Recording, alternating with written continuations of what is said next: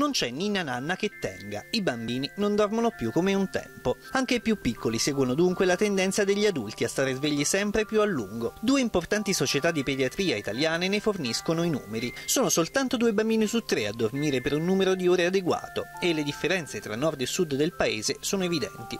Il meridione è quello più insonne. Fino a 18 ore al giorno, quelli molto più piccoli. Oltretutto, durante il sonno in particolare viene prodotto anche l'ormone della crescita, per cui più i bambini dormono tranquilli e sereni, più hanno potenzialità di crescere meglio. Un tempo per prendere sonno bastava un buon libro, sostituito da cellulari e tablet.